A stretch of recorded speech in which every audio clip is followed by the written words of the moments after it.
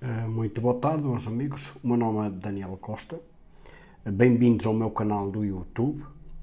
Eh, curtam o vídeo, curtam e se inscrevam no canal. O tema que eu vos trago hoje, porque, porque, porque o dinheiro do desemprego suíço é pago, é pago a Portugal. Que diz o seguinte, muitos trabalha, trabalhadores estrangeiros podem reivindicar as alocações de desemprego em seus países de origem durante as pausas de inverno para cumprir, para cumprir a regulamentação, regulamentação sobre a livre circulação de pessoas, a Suíça é obrigada a cobrir esses custos. No ano passado, a Suíça pagou pagou subsídios de desemprego para 27 mil pessoas que vivem no exterior. O montante foi de quase 200 milhões de francos. A maior, a maior parte do dinheiro vai para as pessoas que vivem perto da fronteira com a Suíça, na França, Itália ou Alemanha, que perderam seus empregos na Suíça ou se demitiram.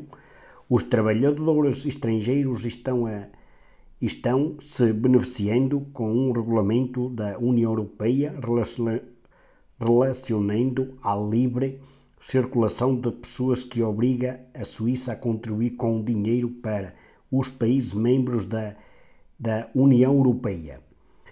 A secretária do Estado da Economia Seco da Suíça subestimou totalmente os custos desse, desse sistema. A taxa de desemprego na Suíça aumentou para 5,1, que isto foi no ano de 2016, porque não é atualmente, porque atualmente deve ser mais.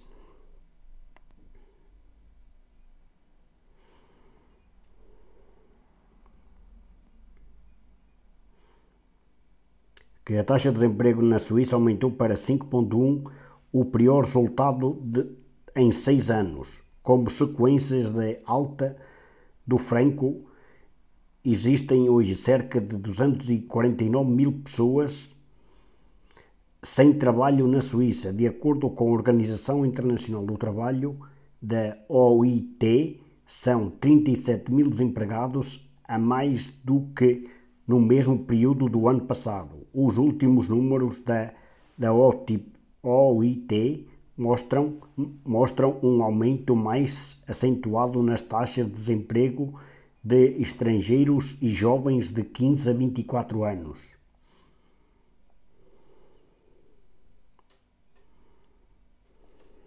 Meus amigos, eh, sobre aqui, aqui sobre o Fundo de Desemprego dos Portugueses que, que, quando chegam ao final dos nove meses vão para Portugal e, e, vão receber o Fundo de Desemprego no nosso país, Portugal.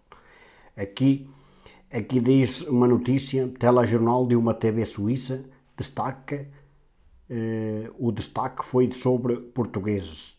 Suíça paga subsídio de desemprego em Portugal.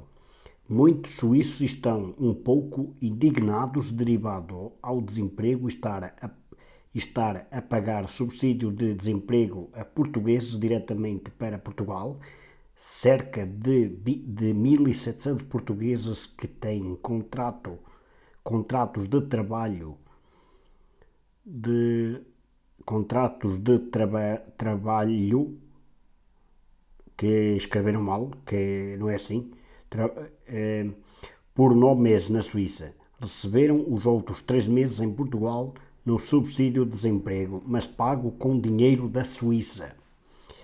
Esse tema teve tal impacto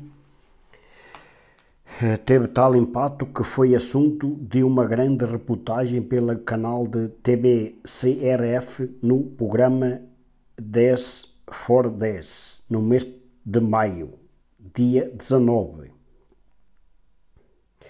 Uh, dia 19, que gerou que girou esta grande polémica à volta deste assunto foi o motivo de que o subsídio é muito mais elevado do que, todas, do, do, que, do que todos esperavam. De acordo com a reportagem da CRF, a Suíça paga uma fortuna que chega aos 4,5 milhões de francos ao Estado português para esses subsídios. Mas, segundo a reportagem, não, se, não são apenas os portugueses que se encontram nessa situação. Derivado à livre circulação, encontram-se muitas pessoas a, a insufruir do mesmo do mesmo. Existem trabalhadores de várias nacionalidades, como franceses, alemães e mesmo italianos.